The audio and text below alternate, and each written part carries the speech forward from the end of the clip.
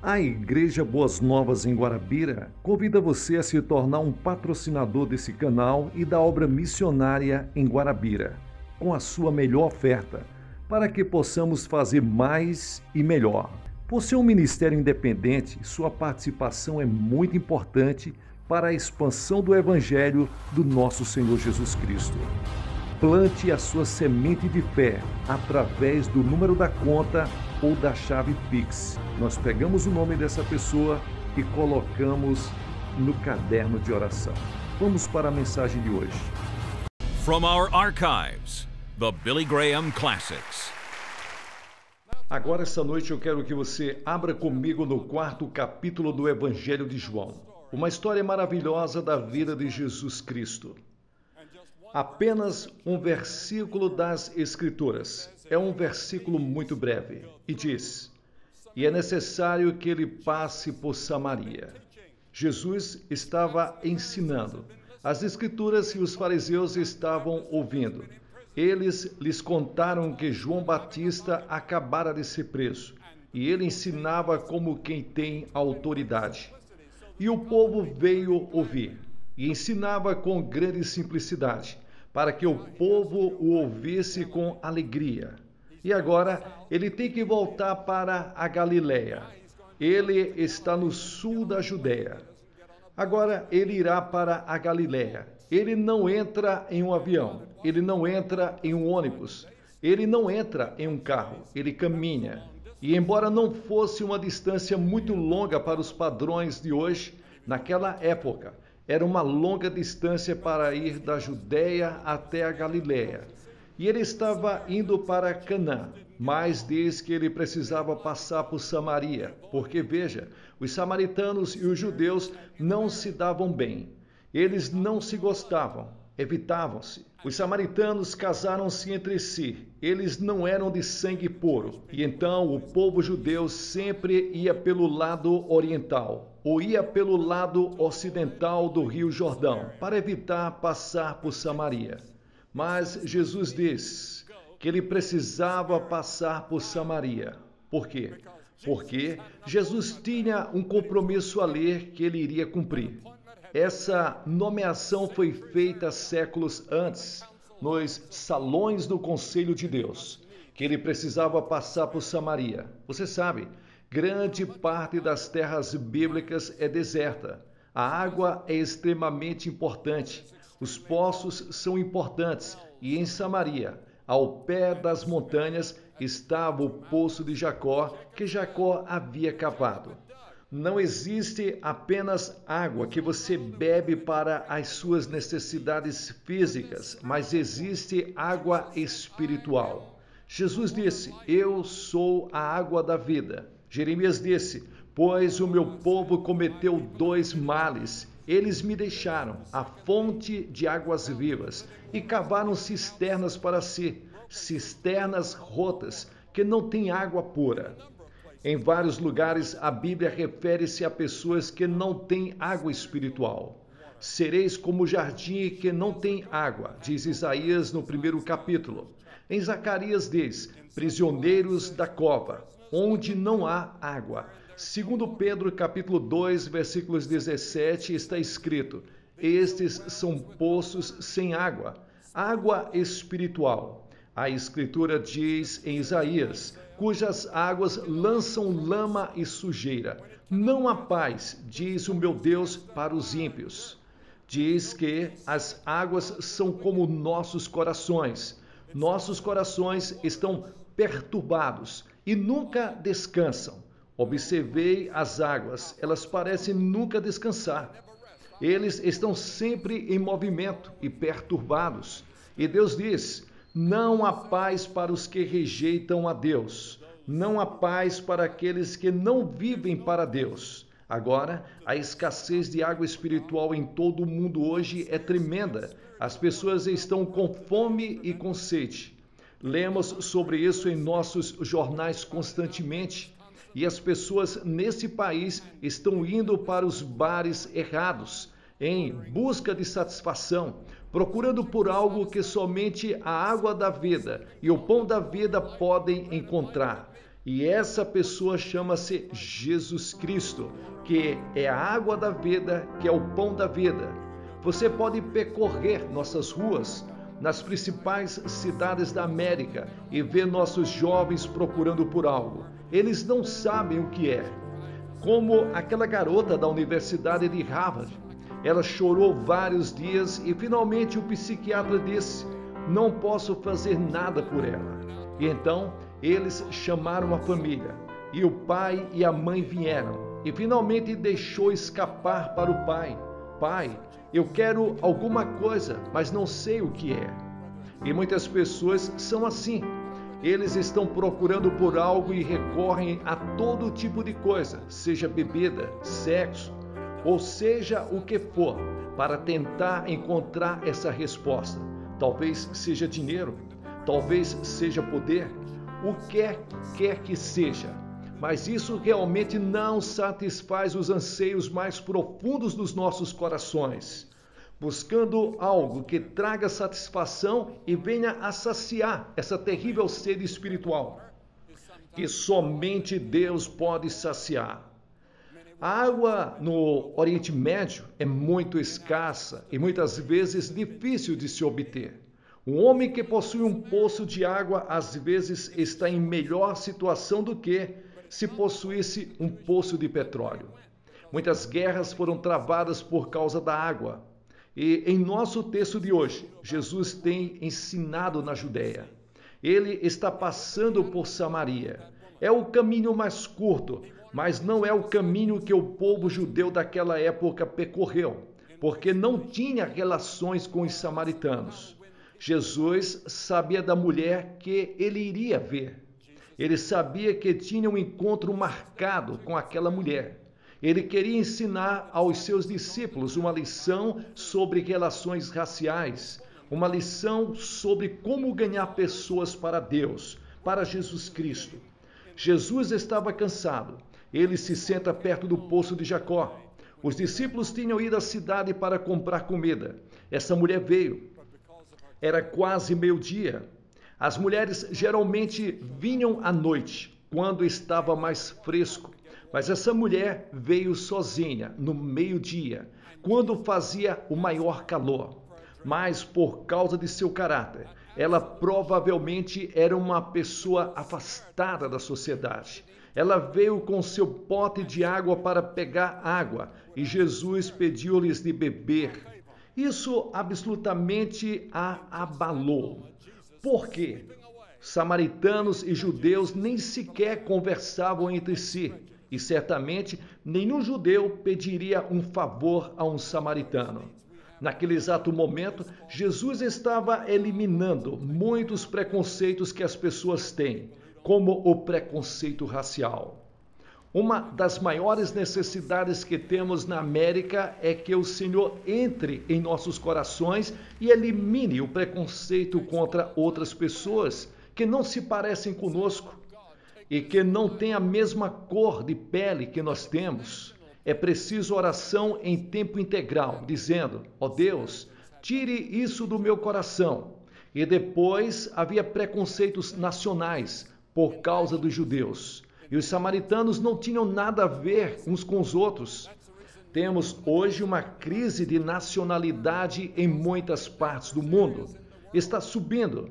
Essa é a razão pela qual muitas pessoas estão preocupadas com a situação no mundo, porque existem muitas áreas perigosas no mundo. E sempre fui grato pelo trabalho que pessoas como James Banker fizeram para ajudar a trazer a paz ao mundo. Mas Jesus viu essa mulher sentado no poço de Jacó. Ele disse: Você me daria de beber? E ela disse: Como é que você, sendo judeu, me pede de beber, que sou uma mulher samaritana? Pois os judeus não têm relações conosco, os samaritanos. Ele não queria forçar religião nela. Ele começa com outro assunto inteiramente alheio a essas coisas religiosas. Ele é diplomático. Ele é diplomático. Ele pede um favor. Ele se coloca sob obrigação para com a mulher. E Jesus disse: Se conhecesses o dom de Deus, e quem te diz, dá-me de beber, tu lhes pedirias, e ele te daria água viva. Deus oferece a todos nós um presente esta noite. É algo pelo qual você não pode trabalhar. É algo que você não pode comprar. É algo que você não pode ganhar. É um presente, é grátis. É água espiritual. É o perdão de todos os nossos pecados por causa da cruz e da ressurreição de Jesus Cristo. Isaías disse, o profeta, no capítulo 55: Ah, Todos os que têm sede, venham às águas. E vocês que não têm dinheiro, venham, comprem e comam. Sim, venham e comprem vinho e leite, sem dinheiro e sem preço. Por que vocês gastam tanto dinheiro naquilo que não é pão? O profeta perguntou: E você trabalha por aquilo que não te satisfaz? Aquilo pelo qual você trabalha tanto e aquilo que você tanto deseja e aquilo que você tanto busca desfrutar, mas não te satisfaz. Essa mulher respondeu e disse: Senhor, você não tem nada com que tirar a água, o poço é fundo. Onde você vai conseguir essa água viva de que está me falando? Veja, ela confundiu o tipo de água de que ele estava falando. Ele estava falando sobre água viva e eterna ela voltou-se para o poço. Ela estava falando sobre aquela água do poço. Agora, a Bíblia ensina que estamos cegos para as glórias e as emoções do amor de Deus e do evangelho.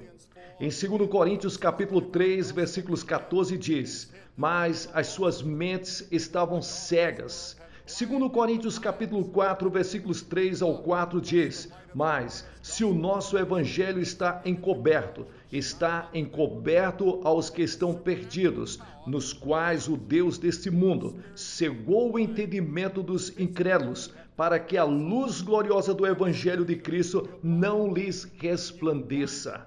Existe um poder sobrenatural que cega você, espiritualmente cego Fisicamente você tem uma visão perfeita, mas espiritualmente você é cego. Você foi cegado por uma força espiritual externa chamada diabo. 1 Coríntios capítulo 2 diz: "Mas o homem natural, que é você, não aceita as coisas do espírito de Deus, porque lhes parecem loucura. Você não pode entendê-las, porque elas são discernidas espiritualmente." Jesus disse: quem beber desta água terá sede novamente, mas quem beber da água que eu lhes der, nunca, nunca mais terá sede novamente. Mas a água que eu lhes der estará fazendo nele uma fonte que jorra para a vida eterna. Ele lhes oferece aquela água esta noite. A sua alma, o seu espírito, a sua mente está sedenta por algo na sua vida que você nunca encontrou. Ah, sim, você pode ter sido batizado, você pode ter sido confirmado na igreja e você pode ser uma boa pessoa e vai à igreja, mas no fundo do seu coração algo está faltando. Não existe realização e satisfação e a paz que você gostaria de ter e que você acredita que somente Deus pode lhes dar. O que você deveria fazer? Beba da água da vida. Jesus fornece água viva na cruz do Calvário. E ele foi à cruz, como a senhora Baker disse agora há pouco de uma forma tão linda. E ele foi espancado e insultado. Esse não foi o seu verdadeiro sofrimento. Seu verdadeiro sofrimento veio quando ele disse: Meu Deus, meu Deus, por que me abandonastes? Naquele momento terrível, houve algo misterioso. Deus colocou sobre ele os pecados do mundo, seus pecados e os meus pecados. Tudo o que eu fiz, tudo o que eu tentei esconder, foi colocado sobre Jesus Cristo. Ele recebeu o julgamento e o inferno que eu mereço naquela cruz. Jesus estava oferecendo água a esta mulher para sua alma sedenta. Nossas almas estão vazias, solitárias e se sentindo culpadas. Ela sentiu o vazio de sua própria alma e disse: Senhor, dá-me desta água para que eu não tenha mais sede. Ela foi muito sincera, mas a sinceridade por si só não é suficiente. Há alguns anos, no Rose um homem pegou a bola de futebol. Todos gritaram, todos se levantaram porque o placar estava empatado. E ele correu para o Church Hall, para a quadra. Ele foi para o lado errado e marcou para o outro lado.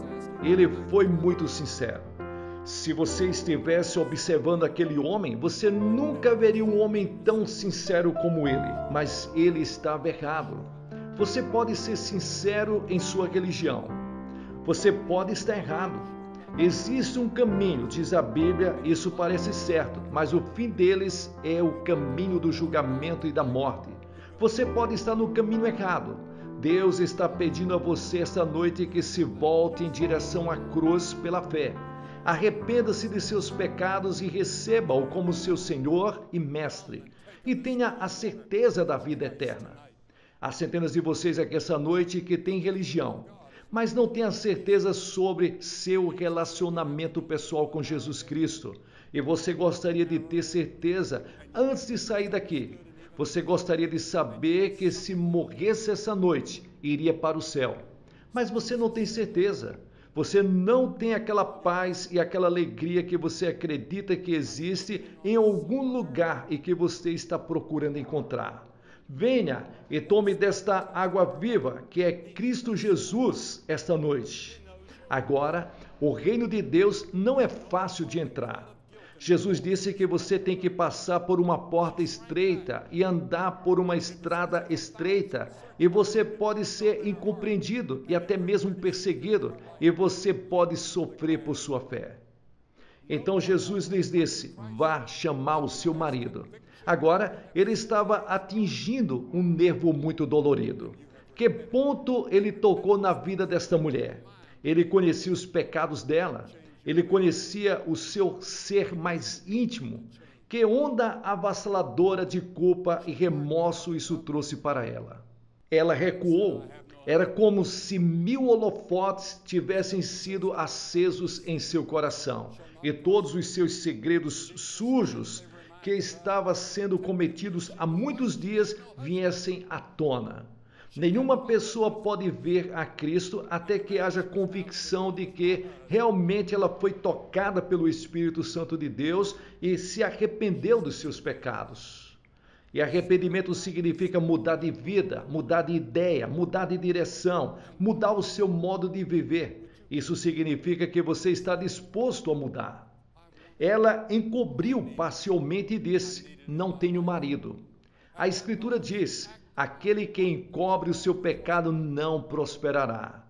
Jesus gentilmente a lembrou que parcialmente ela estava certa, mas não totalmente. Ela não tinha marido.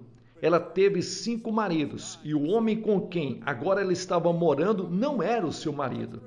E ela disse duas coisas: Senhor, percebo que você é um profeta. E por favor, Senhor, você me daria essa água viva?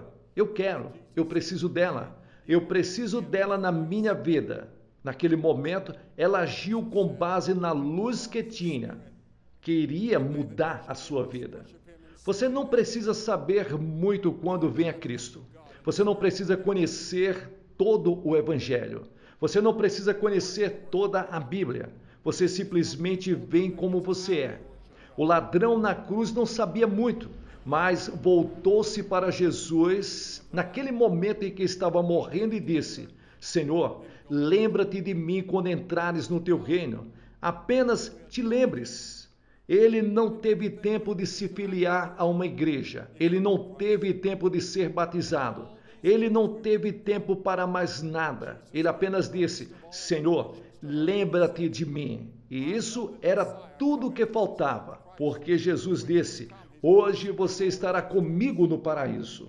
Jesus disse: Deus é espírito e é necessário que aqueles que o adoram o adorem em espírito e em verdade. Você e eu devemos adorar a Deus em espírito e em verdade. Onde você adora a Deus não é importante. É como você adora a Deus que é importante. Você o adora em seu coração, na leitura da Bíblia, ao dar a sua oferta e o seu dízimo para a igreja. Em ir à igreja, adoramos a Deus e o adoramos. E tudo o que fazemos é um ato de adoração. Se você conhece a Cristo, você adora a Deus. De todas essas maneiras, adoramos a Deus. Jesus fez a maior de todas as revelações quando ela perguntou, dizendo: Eu sei que é o Messias que se chama Cristo há de vir, e quando ele vier, nos explicará todas as coisas. Jesus disse-lhe: Eu sou ele, eu sou o Messias. Que choque foi para ela! Está conversando com o Messias que tanto os samaritanos como os judeus estavam procurando e esperavam. E estamos procurando hoje. Naquele momento ela se converteu. Naquele momento seu nome estava escrito no livro da vida. Naquele momento ela garantiu o seu passaporte para a eternidade. Lhe foi garantido um lugar no reino dos céus. E a partir desse momento ela se tornou uma testemunha. Ela provou que havia conhecido Cristo. Ela deixou seu pote de água, o seu cântaro, e foi para a cidade e disse aos homens. Ela não disse isso às mulheres, porque provavelmente não tinham nada a ver com ela. Os homens a conheciam. Então ela disse aos homens: Vinde ver um homem que me contou todas as coisas que tenho feito. Não é este o Cristo que estávamos esperando? E muitos samaritanos naquele dia acreditaram. Aqui estava uma mulher evangelista, evangelizando entre os homens, falando-lhes sobre Jesus Cristo. Ela não tinha muita teologia para lhes contar. Ela não sabia o que dizer. Tudo o que ela disse foi: Venha ver Jesus Cristo, e Jesus mudará a sua vida, assim como ele mudou a minha. Você já teve com Jesus dessa maneira? Você veio? Você tem certeza de que seus pecados estão perdoados? Você já esteve aos pés da cruz e disse: Senhor, eu pequei, sinto muito pelo meu pecado, estou disposto a mudar meu modo de vida e venho pela fé. Não entendo tudo, mas pela fé te recebo como meu Senhor e meu Mestre e meu Salvador.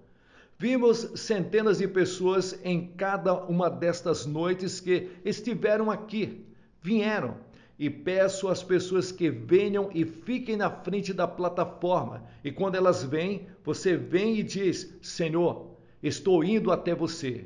Quero ter certeza do meu relacionamento pessoal com o Senhor.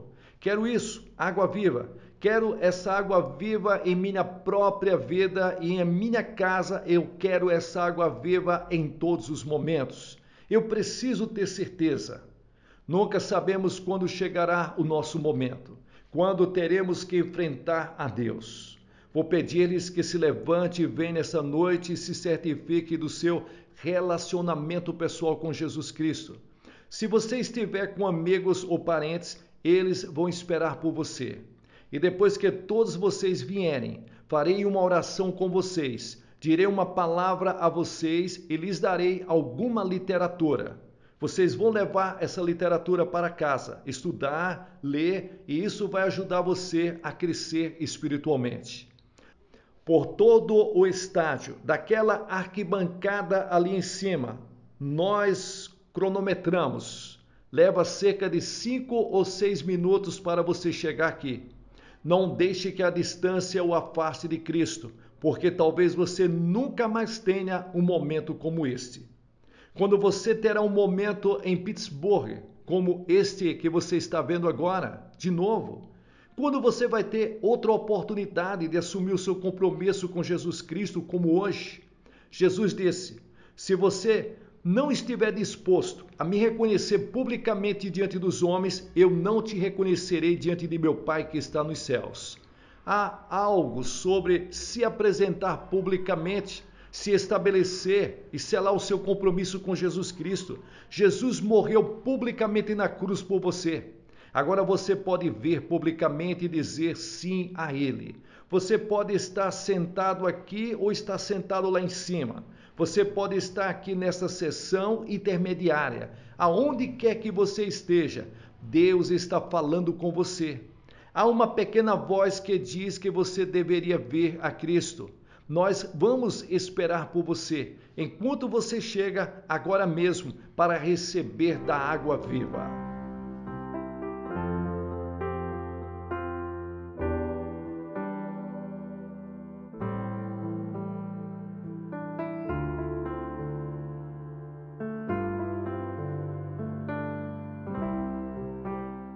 Essa noite você que está nos acompanhando pela televisão, você está diante de sua oportunidade. Você pode receber a Cristo aonde quer que você esteja.